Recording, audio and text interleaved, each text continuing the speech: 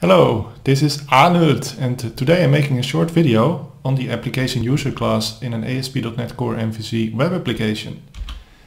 We're going to do this. We're going to extend the application user class, uh, adding more data to it. By default it contains uh, a username and password and stuff like this. Suppose we want to track more like the first and last name, birth date or whatever. We have to add it to this class uh, then we also have to add it to the registration page to enable the user to actually enter this data. And finally, what if we want to retrieve the data somewhere in the application? Uh, for example, if we want to show the username or uh, user first name or last name on a page, then we have to get the application user object. I'll show that as well. And let's get started. So first we're going to create a new project and it's going to be an ASP.NET Core web application. Uh, let's call it user example and make it a web application and we're going to change the authentication to individual user accounts. This gives us a nice login and registration system. And all we have to do is change it. So the class we're looking for is application user in the models folder and we can just extend this by adding properties to it. So if we want to uh, keep track of the first name or last name, we'll add it here. Sorry for the loud keyboard.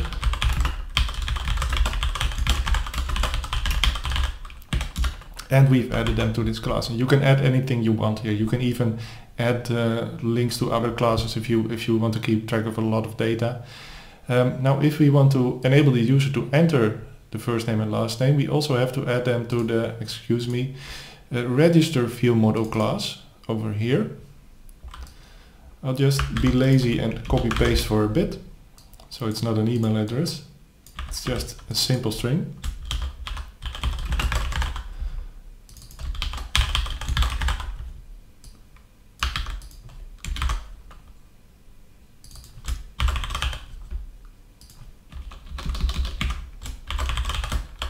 And the way this works is this is actually used um, for the user to enter data.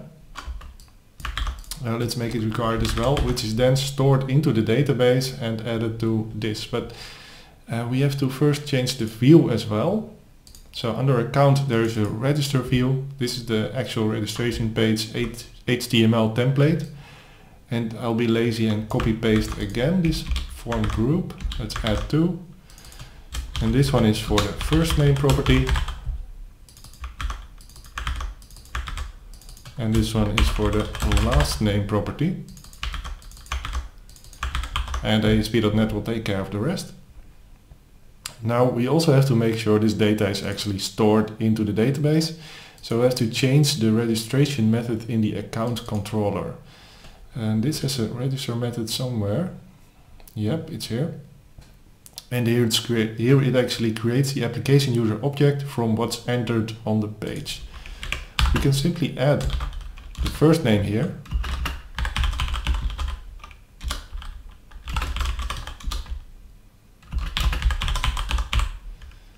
So uh, this last name is actually the new application user and the model is the register view model we just edited. Um, so this will be fine, this will be stored into the database. And will this work? No, it won't, because we haven't actually created a database yet. Now, I have the Package Manager console open by default, um, but okay, let's try first and see what happens if we don't actually create a database.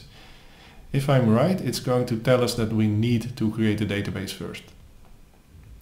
So I'm going to hit register, um, register using Arnold Schwarzenegger.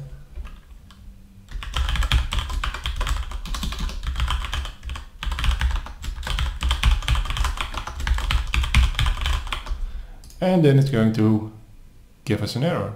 Yeah, you don't have a database. You can create it by using the Package Manager console. Now if you don't have the Package Manager console, you can get it by going to View, Other Windows and then Package Manager console. Click this and you'll be here. You type the update database command that was shown on the web page and it will generate the database for you. Only problem is it will generate the database um, with the old application user class. So without the first and last name.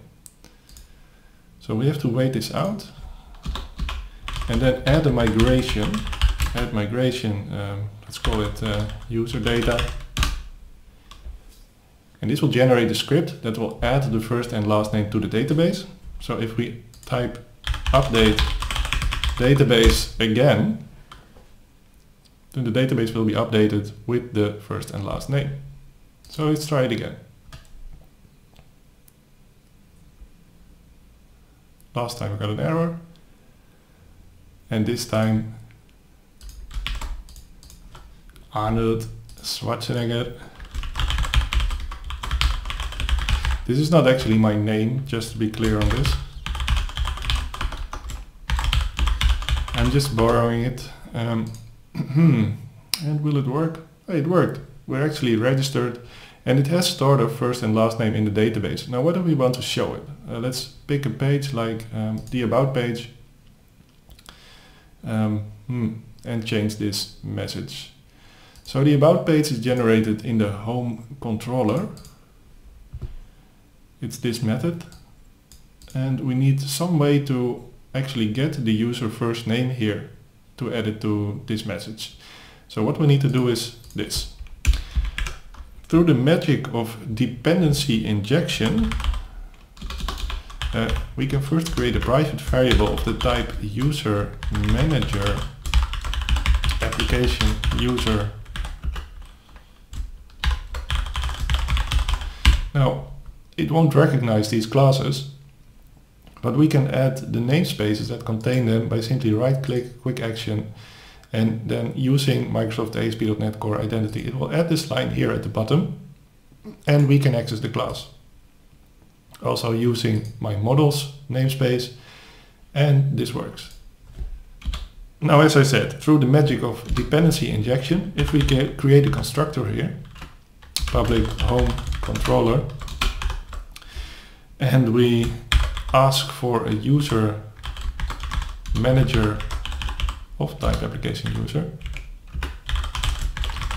then we will automatically get it. This will be a working user manager. So if we assign it to our project variable, we can access this user manager from all the methods here. So what we need is an application user object here. So let's call him current user is and then we'll ask the user manager I'm sorry the user manager for the get um, and what's it called? Get user async method. Now this is one of the many asynchronous methods in ASP.NET Core. The currently logged in principal is called user it's maybe a bit confusing, but this is actually not an application user object. It just contains the basic security data, not the first name and last name. Um, okay, but this won't work.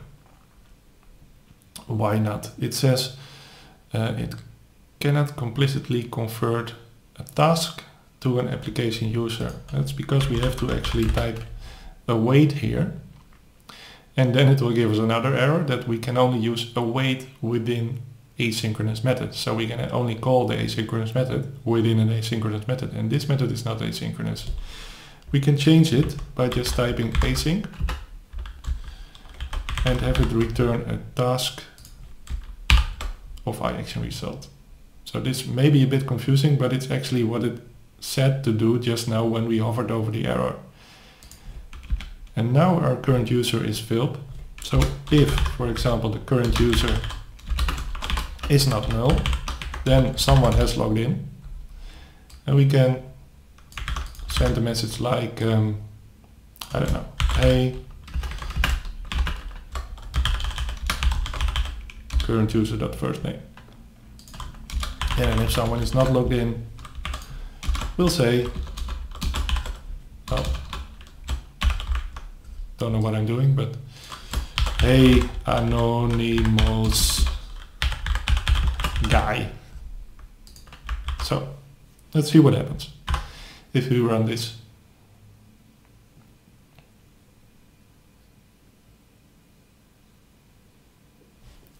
We're already logged in, so if we go to the About page, you'll see our message, Hey Arnold.